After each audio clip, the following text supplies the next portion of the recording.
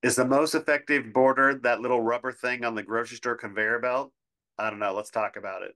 This is the real story with Adam and Sherry. I'm Adam Hamalian. And I'm Sherry Hutchens.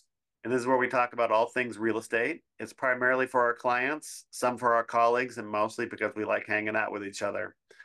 So today we're going to talk about um, boundaries, property lines, and maybe property line disputes that come up, and what are some ways that we figure out what a boundary actually looks like. Uh, so, Sherry, when we first go out to look at properties, the general assumption is that the fences represent the property lines, but that's not necessarily true. Can you tell talk a little bit about how we know what property lines are and how to figure out where they go? That is correct. It's one of the most common questions we get when we're taking people out to look at houses and I don't know how they learn to ask this question, but they gesture to a fence and they say, Is that the property line? And we say, I don't know. We don't know. And why don't we know? Because that fence can be put anywhere, um, literally anywhere. And sometimes it's accurate and sometimes it's not. The only accurate way to find out where a property line is to have a property survey done um, by a professional surveyor. So most of the time, fences are in the general neighborhood of the property line, and if they're not right on it, they're within a few inches of it. But sometimes they're not, and that can be really confusing. Yeah. Uh, you know, it's important to to figure out where that property line is. I think in two particular occasions. One is if you're going to build a new fence, mm-hmm. and two is if you're when you're going to do an addition that might get really close to a setback. So zoning laws require certain setbacks in certain communities. Like a side, a common side setback is 10 feet, um, and a common backyard uh, property line actually might be even less. And a front setback is usually about 20 feet, but it varies by community. So those aren't um, necessarily um, locked into place. Um, so it, just built a fence, um, a new fence on each side of your property and in back. How did you decide where to build it? So that's a good question. Um, so my backyard fence, there is a county um, chain link fence, which I think is pretty close to the property line. Um, but on that back fence, we basically just wanted to hide that chain link fence. So we built a new fence just inside that. We might have given up about six inches of our property, but it wasn't like we gave it to anybody except for the squirrels. And yeah, I know the, the squirrels are demanding. The um, but the side fences um, basically, I had a handshake agreement with both my neighbors to just build it exactly where the old fence was, uh, and we all agreed to it. And and we could have been wrong. We could be off by a foot on both sides. Um, hopefully not, but you know that that's that's where it is. You know, I had to build that the fence on the one side because well, I had to build. What prompted the whole fence building was um, there was a hole in the fence, and my dog, my late dog, who since passed away, Gretel, um, was going through a hole in the fence, and it I, we didn't realize that at first. Um, we, we let the dog out for some backyard time, and she was spending a lot of time like laying in the sun and exploring through the garden. And you know, I'm not paying attention. It's kind of wait till she came back to the door to bark to come in, and uh, I think we kind of sensed that she was taking longer on these times outside, and we are just thankful that she was enjoying all the different crevices of our yard only to discover that she was going through this hole in the fence. And I was embarrassed that the, you know, my dog was going into the neighbor's yard and hopefully wasn't making a mess over there, only to discover that my neighbor, it's a young couple that lives there, and the wife was working from home, was has taken affection to our dog Gretel and was letting her into her house for like a half hour at a time. Got a got a dog bed and put it next to her desk and Gretel was just having this great time with this new person that was giving her love and affection. Uh-huh. And and then at one point, we they sent us a Christmas photo of our dog with their Christmas tree. that is funny. It is funny. I mean, you know, it was a little bit concerning, but I know that they loved Gretel and they weren't upset by the trespassing. But all the same, I felt like it's time to build, rebuild the fence because the repairs weren't holding. It was just like things were falling down. And then at some point, the wind just blew it all the way over. Um, and That's the neighbor funny. actually asked say, can we build like a little Gretel sized door in the fence so that she could still come to visit? And I'm like, no, I want my dog back. No, go get your own dog. I know they had a baby instead. I don't think she's missing the dog at the moment. Oh, so funny. their baby's about a year old at this point. I think she just had her one year baby, a one year birthday. So this is about property lines and boundaries. But do you remember? For just one more dog story, uh, during the pandemic, when I was finally home during the day, and it's funny, about a week or two before uh, we went into lockdown, I was noticing that something in my backyard was leaving little deposits on the um, lawn. And I thought, what now? Because it's kind of like the wild kingdom back there. You never know what all sorts of animals in your backyard. Exactly. And anyway, I just didn't think much about it until the first day we were in lockdown. And all of a sudden, I look out my back window, my sliding glass door, and there's a little white dog walking around my backyard. And um, I, you know, opened the door, and it was, and it was just offended that I was um, one here and two asking what it was doing in my yard and it just barked and barked and barked and barked like go back to where you came from. Go back to the office. It turns out it was my neighbor's dog chuckles chuckles. And, yeah chuckles. What a name. Chuckles was not actually that funny. Um, but he had discovered where there was a loose fence in the or loose board in the fence and he would just push it and then walk through and then come hang out in my yard. So then outraged that you were you were in his her his yeah, that's her, right. yeah his backyard. I think chuckles was a boy i think yeah. so. Yeah. But i did not put him on my christmas card that year so. Well that yeah too bad. Poor chuckles. Yeah. Uh, did your did your fence get fixed? Does chuckles still come visit? No chuckles does not come um visit. Just, I think just the squirrels and raccoons now huh? Uh-huh and the possums and the skunk.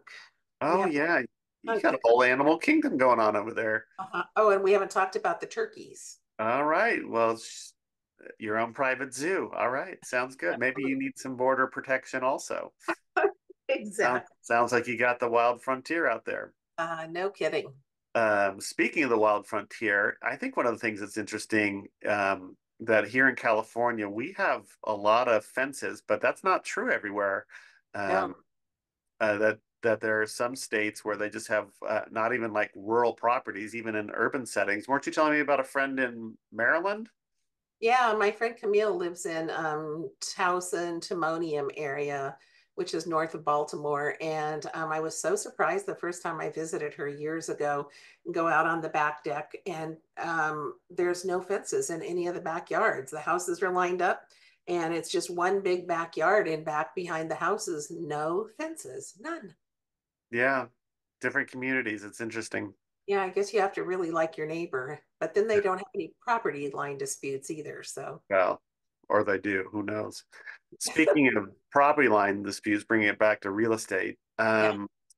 I was wondering if you could tell a little bit about that uh, that uh, one um, family that we sold a house for that was a, a lot split and how the fence didn't match up with the property lines. Oh yeah, an inter-family lot split. So I think was this during the pandemic. Here we go on the pandemic again. We got a call um, from a woman who said she wanted to sell her father's house. He had passed away. And he had a house over on White Park in your neighborhood. And it was a little tiny, cute white house at the very front of a lot. And um, I don't know if you know this, back in the day, they had long, narrow lots because they didn't have plumbing uh, and they would put the septic tank all the way at the back of this um, lot um, away from the house and with room for the leach lines, which is a whole nother podcast, mm-hmm. unfortunately. Mm-hmm. Maybe not that interesting. But um, when, you know, city plumbing came into being, they didn't need those big lots anymore. They did, took out the septic tanks and in this case, he did a lot split and sold or gave his daughter the back half of the property, and she built a beautiful home back there. Um, they created a driveway on the right side of the property, so um, there was an easement so she could drive back to her home. Um, and at the first appointment that we went out to meet with her, she said, Yeah, I live back there. My dad lived here. Oh, and by the way, my property, my fence is four feet on my dad's property. Should That's right. She wanted a bigger yard and dad didn't need it. So he let her do it. He let her do it. Yeah, it was just an informal agreement within the family.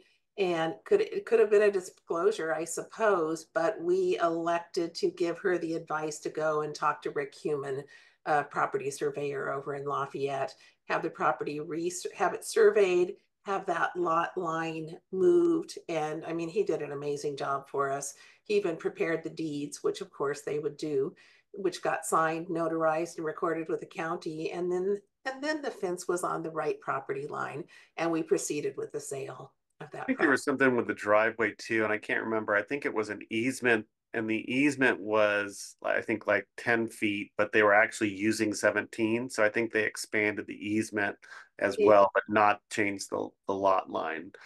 Yeah, I think that I think that is correct, actually. Yeah. Yeah. Well, was, that was yeah, it was good that we straightened that out before we put that house on the market, so that the buyers knew exactly what they were buying, and when they got a preliminary title report where it describes the the lot that's being sold, it it accurately matched closer to where the fence were, so what your perception is, but that there wasn't any dispute about who was using that extra bit of land. Yeah, it's all fine and good when you're related, father and daughter, and you have yeah. understanding, but when it's two people who don't know each other um, it's a whole different story. In fact, I wrote an offer on a house um, in Rancho San Miguel once where there was a disclosure that said that the behind the house neighbor was suing the seller of the house I wrote on because her fence was four inches. Four inches, yeah. Four inches on his property. We didn't end up buying that house for other reasons than that, but you can see how things get a little um, interesting when fences aren't on the right, uh, you know, property line. So we had that uh, situation on a listing um, up in on Poplar here in Walnut Creek, oh, where yeah. where there was a shed, a long time existing shed that was built right on the property line, on the back property line, and um, it was interesting because uh, so the owner, the longtime owner of the home, had passed away, and a successor trustee was the one who was selling the property, and so really didn't have much knowledge of it. But we we were at a, doing the first weekend open house, and the backyard neighbor came over and announced to everyone at this open house, "Your shed is on my property, and I want you to take it down." Gotta love the neighbors. Yeah. Yeah. This is where we tell people if you don't disclose it, your neighbors will. And sometimes they do it in an open house. I mean, it didn't scare people off. We ended up getting multiple offers, but. Well, sometimes they do it and it's not accurate either. Sometimes yeah. it's very accurate. In this case, I don't think it was. No, it wasn't, but it, it did make us do go do our little little bit of research and and uh, cross our T's and dot our I's. And this the longtime owner had done a, a lot survey because he was exploring adding on to his house at one point, but never did it. And in this survey, and I think you found it, a bunch of documents that were all rolled up in some place in this person's uh, yeah. Um, yeah. Um, filing system, which he had files for everything. Oh, he was amazing. Yeah. Yeah, he was. It was as as a seller, especially as one who had passed away, he was an amazing seller. Um, but it showed that the shed was right on the property line. And um, we contacted a lawyer and talked with some other people, did some research, and it was interesting. The the I can't remember was the lawyer or the surveyor said, you know, the pencil line on those drawings could be four inches because it's that small of a scale, um, and not that exact, but that pretty much it was right on the the back property line. And um, so we we shared this information with the neighbor and said, "Can you share with us your evidence that you think it's over?" And it turned out that he, his evidence was he looked at Google Maps. And if you go to Google Maps, and even in satellite view, uh, Google will overlay what they think are property lines and actually outlines of buildings. And sure enough, when you looked at that, it looked like the the structure might have been as much as three feet over the property line. And so it wasn't as narrow as potentially four inches or nothing, depending on how wide that pencil line was. And um, he, I don't want to say he quietly went away, but we didn't hear anything else from him. And we properly disclosed all of that information to future buyers. And we still, I don't remember how many offers we had. I think it was like seven or eight. No, no, no. We had 16 offers on that property. Yeah, 16 offers. And the eventual person who bought it, that wasn't a, they didn't worry about them. And, and, um, uh, and the shed did not have to get torn down No. because it wasn't over the property line. Although it's interesting that if that shed was built today, it would not have been allowed to be close to either fence because it backed up to the neighbor's fence on both sides, neighbor on the left and neighbor behind the property. Yeah. I, I hate to use the term grandfathered in because we're not supposed to use that term anymore, but it was grandfathered in, so it was allowed to be um, on those backing up to those fences, but it wouldn't have been that way. You know, just in the last couple of weeks, I was learning about the origin of that term grandfathered in, and I think I'm going to work on um, not using anymore. I, the origin of it had to do with um, laws in the South, voting laws in the South post Reconstruction, and that the South was passing laws that said that if your grandfather was free, then you had the right to vote. Um, Right. which of course is hor- horrendous to even think about that. So it, it- the the technical term that we're going to have to start learning to use is legal non-conforming. Yeah. It legally exists. You don't have to tear it down, um, but it's not conforming to the current zoning or current laws. Yeah. And so legal non-conforming. Little trivia there. Uh, well, I don't know if it's just trivia. A, a little healthy, little healthy growth for us old dogs. Absolutely. Yeah. Absolutely. That's so interesting. I, Yeah.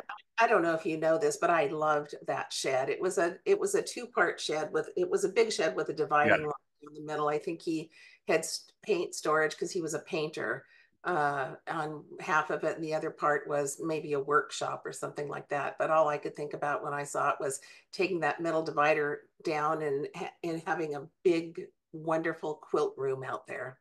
Well, you know, the other thing, it didn't even look like a shed because it had um, siding that almost looked like it was going to be from like an Eichler style with that really thin vertical lines, um, very evenly, not the, you know, cheap T11 four inch on center. And it had real windows in it that Yeah. let in natural light and all sorts of stuff. In fact, a couple people, uh, it was common to ask if it was an ADU. It looked so nice from the outside, and with Yeah. a little bit of fix up, it could have really been a great space. I don't know. Maybe the future person that bought it from us made something else out there, but uh, Maybe. We'll have to do yeah. a, a, podcast on ADUs because of course everybody looks at that and thinks, oh, somebody can live in there. It's like, well, maybe, maybe they can. Yeah, maybe they can't, but we'll talk about that at another time. That seller was really um, meticulous. And while he was a house painter, um, I don't think that we really appreciate his artistry. Um, he he had like all the pigments in that storage shed to just make slight changes to colors of paint.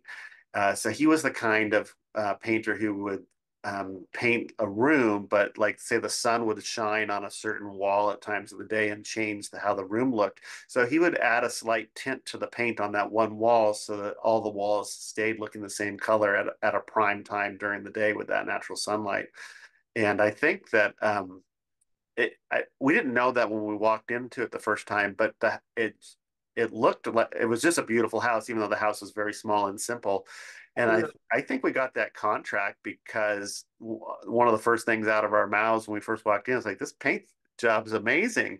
Um, we loved that pale, pale buttery yellow that he had painted that front room in.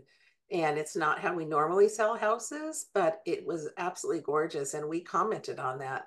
And apparently, the other agent that we were competing against um, walked in the door and said, Oh, this yellow is going to have to go.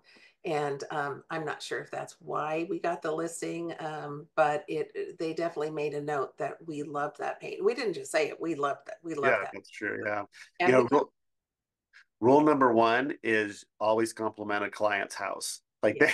they, they obviously love the way it is, and so we are very careful when we suggest changes, especially to paint colors. Um, but rule number one is that that client loves their house, you should love it too, and that'll be the easiest way to sell it is if you see its value. luckily both you and I love houses, which is one of the reasons that we do this, you know, Yeah. and beauty in any house, well, almost any house. Yeah. and we, we were um we teased the the boundary conversation about our um the grocery store rubber strips the most effective property um dividers out there um it, you know like if if your groceries something rolled over that into somebody else's like sheer panic about whether you should grab it and move it back like i'm just taking my it's my orange i'm sorry you feel like you're intruding somebody else's space but you know the other boundary thing that i that I uh, I think is highly effective is I don't know whether you had this, but the imaginary line that your sibling draw drew across the back seat on long road trips. Do not cross this line. And and uh, uh, did you have anything like that in your family? No, there were four of us. There were very few boundaries in the back seats because you know there there were four of us. yeah, even on those long road trips to Wyoming and North Carolina.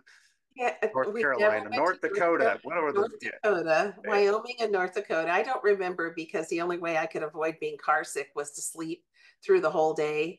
Um, otherwise, it things got ugly. But um, so I don't know what my siblings were doing about boundaries, but um, there were a lot of kids and not that much room. It wasn't like you and your brother, just the two of you in the back seat on either side of the car. Yeah, you probably were always touching each other. What what kind of vehicle did you guys drive? Like, was it a, a station wagon or what was what did you guys no, have? my dad worked for Volkswagen, and um, we had a Volkswagen bus, a blue and white one. So nice. How did that go over in Wyoming and in North Dakota?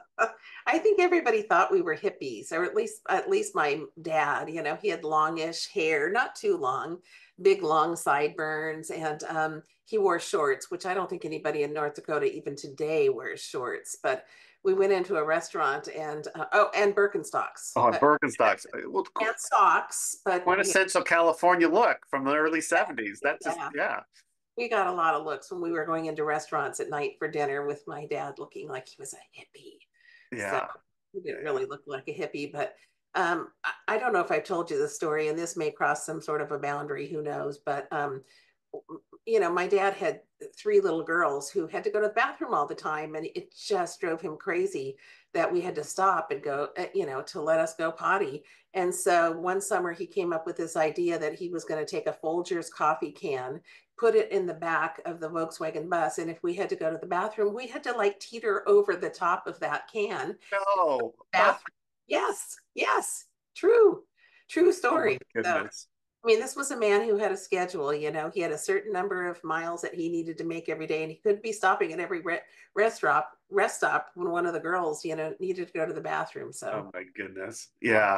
Well, maybe it was just trying to every time he had to get that Volkswagen bus going again. Like uh, you know, there was like once it got going, it wasn't going to stop. Exactly. My parents actually had a Volkswagen bus. Also, they um, their honeymoon was uh, to go to Baja California in it. So I think maybe our parents were pseudo hippies. I don't think either one of them were actually hippies, but but to somebody in the Midwest, they probably seemed like a hippie because you know who wears short. What man wears shorts and Birkenstocks? I know exactly, and drives that German vehicle. Exactly.